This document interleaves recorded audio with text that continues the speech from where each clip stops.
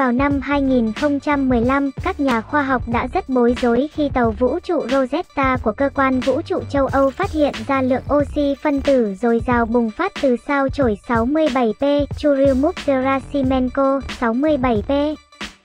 Làm thế nào một sao chổi có thể thải ra khí oxy, chứ chưa nói đến lượng khí dồi dào.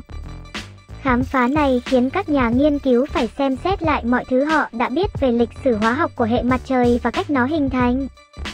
Một nghiên cứu mới được công bố trên tạp chí Nature Astronomy đã đưa ra một luồng ánh sáng rất khác so với các nghiên cứu trước đây về lý do tại sao 67P dường như có nhiều oxy đến vậy. Và cho thấy sao chổi có hai hồ chứa bên trong khiến nó có vẻ như có nhiều oxy hơn thực tế. Tiến sĩ Adrien Laspeycuti, tác giả chính của nghiên cứu cho biết đó là một ảo ảnh. Trên thực tế, sao chổi không có lượng oxy dồi dào như vậy, ít nhất là không xa khi quá trình hình thành của nó diễn ra, nhưng nó đã tích lũy oxy bị mắc kẹt trong các lớp trên của sao chổi. Sau đó được giải phóng tất cả cùng một lúc. Trong khi oxy phân tử, hai nguyên tử oxy liên kết kép với nhau, rất phổ biến trên trái đất thì điều ngược lại hoàn toàn xảy ra trên khắp vũ trụ.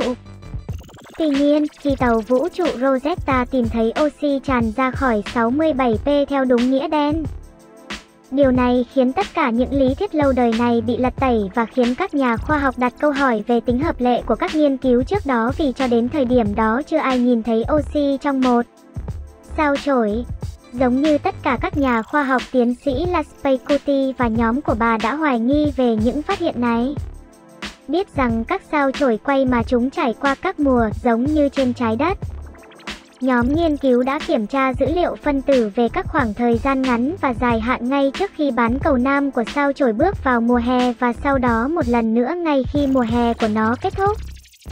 Nghiên cứu đề xuất oxy của sao chổi không đến từ nước mà từ hai bể chứa, một bể chứa oxy, carbon monoxide và carbon dioxide nằm sâu bên trong nhân đá của sao chổi. Và một túi nông hơn gần bề mặt nơi oxy kết hợp hóa học với các phân tử nước đá. Tiến sĩ Olivier Mausis, một nhà khoa học hành tinh đến từ Đại học Aix-Marseille của Pháp và là đồng tác giả của nghiên cứu cho biết đây không chỉ là một lời giải thích đó là lời giải thích vì không có khả năng nào khác. Nếu oxy chỉ đến từ bề mặt bạn sẽ không thấy những xu hướng này được quan sát bởi Rosetta.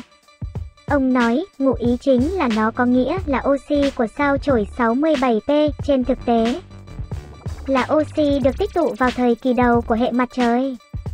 Nó chỉ là một phần nhỏ so với những gì mọi người đã nghĩ. Comet 67P và Rosetta sao chổi 67P Churyumov Gerasimenko được các nhà thiên văn học Kiev, Klim Churyumov và Svetlana Gerasimenko phát hiện vào năm 1969 khi xem xét một bức ảnh chụp sao chổi 32P. Comas Solar và quan sát một vật thể giống sao chổi khác trong bức ảnh đĩa.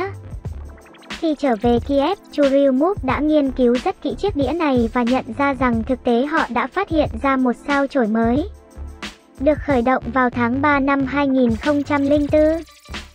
Sứ mệnh Rosetta của cơ quan vũ trụ châu Âu là sứ mệnh đầu tiên gặp sao chổi là người đầu tiên theo dõi sao chổi trên quỹ đạo của nó quanh mặt trời và là người đầu tiên triển khai tàu đổ bộ lên bề mặt sao chổi. Trong sứ mệnh khoa học kéo dài 2 năm tại 67P, những phát hiện quan trọng của Rosetta bao gồm việc phát hiện ra hơi nước trong sao chổi 67P, GC, hơi khác đáng kể so với hơi nước được tìm thấy trên trái đất phát hiện cả nitơ phân tử và oxy phân tử lần đầu tiên ở một sao chổi, sự tồn tại của băng nước tiếp xúc trên sao chổi bề mặt. Và việc phát hiện ra axit amin glycine thường được tìm thấy trong protein và phosphor, một thành phần của DNA và màng tế bào trong sao chổi. Nó cũng thể hiện lần hạ cánh đầu tiên trên bề mặt sao chổi khi tàu đổ bộ Philae chạm xuống 67P vào tháng 11 năm 2014, gửi lại những hình ảnh đáng kinh ngạc về bề mặt. Nhiệm vụ kết thúc vào ngày 30 tháng 9 năm 2016 khi tàu vũ trụ Rosetta va chạm với 67P. Những thông tin chú ý khác chúng tôi sẽ cập nhật bài viết lần sau, rất mong sự ủng hộ của các bạn. Chúc các bạn vui vẻ! Xin chào, chia sẻ hữu ích nhé.